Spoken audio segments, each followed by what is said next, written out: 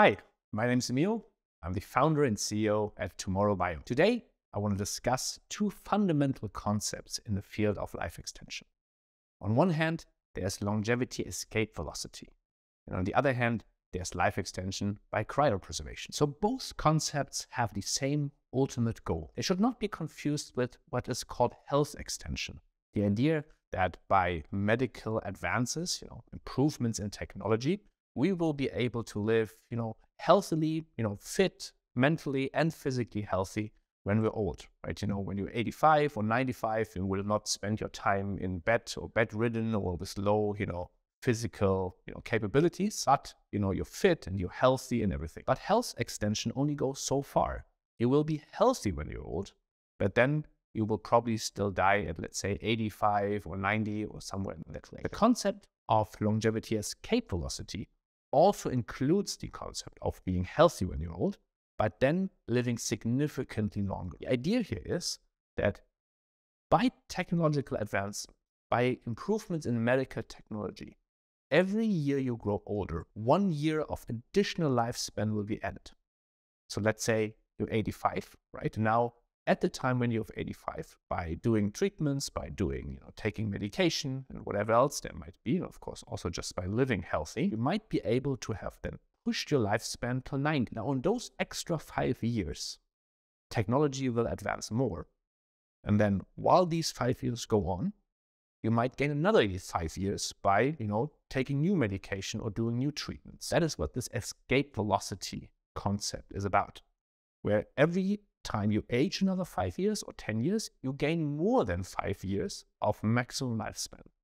And then, at least conceptually, you might live indefinitely, or at least as long as you choose to do so. Cryopreservation has the same ultimate goal, where in the future, once it's possible to reverse cryopreservation, medical technology might have advanced enough so that you can live as long as you as, as you choose to do so, practically indefinitely.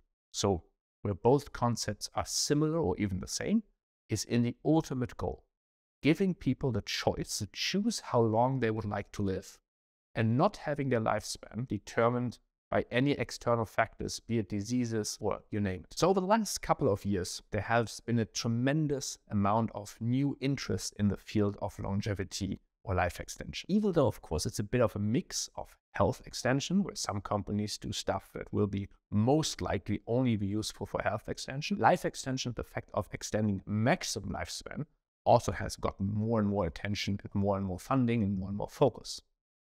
Now, billions of dollars are being spent every year in that field. So there's more activity going on, there's more stuff that is happening, and of course, arguably, there's also a larger market than at least currently there is in cryopreservation. The fundamental difference between going towards life extension or longevity escape velocity or cryopreservation is that while there is more funding, more activity in the field of longevity, maybe even partly towards uh, longevity escape velocity or reaching longevity escape velocity, you kind of need, you kind of have a cutoff point when longevity escape velocity needs to be reached. That is kind of, you know, at the time when you might get some incurable disease at old age, or unfortunately, even though it's statistically not that likely, also at younger years. So if the medical advancement has not reached a certain level of, you know, capabilities at a time when you're old or being diagnosed with a terminal disease, then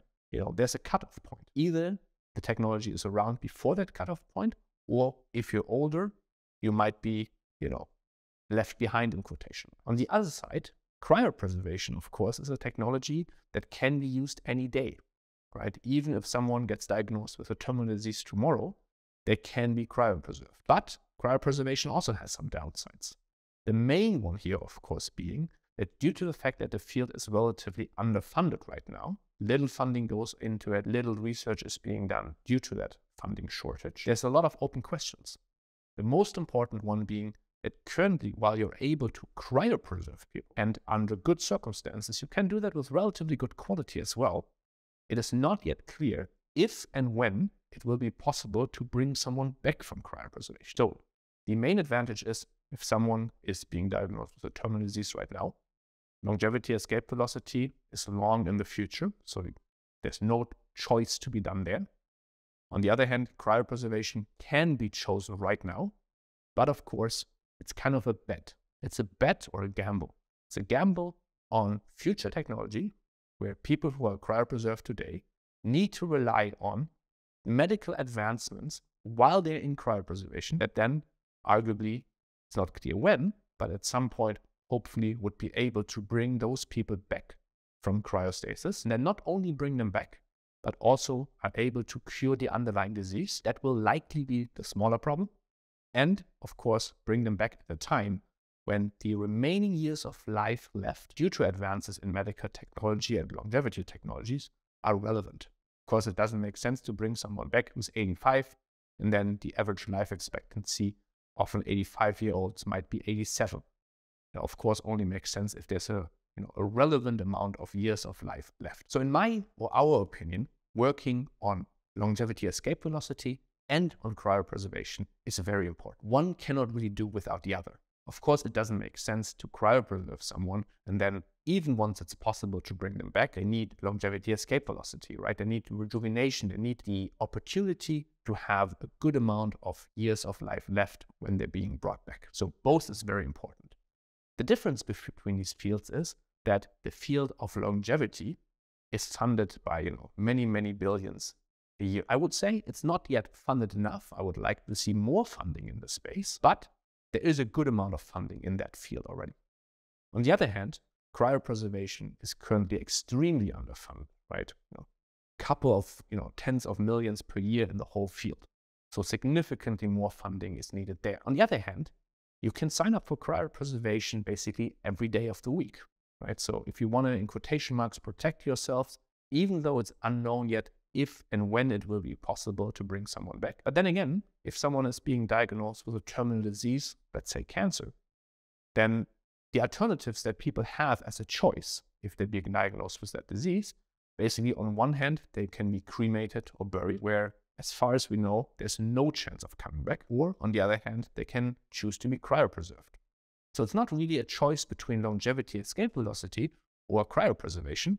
In fact, I would personally hope to never need to be cryopreserved, right? I just much rather do some type of treatment or take some type of medication regimen and then just live as long as I would like to. But if I should be diagnosed with a disease that currently leads to death without anything being able to be done about it, in that case, I would definitely choose cryopreservation if my alternative is only burial or, you know, cremation. So longevity, escape velocity, and cryopreservations are not really opposing concepts at all.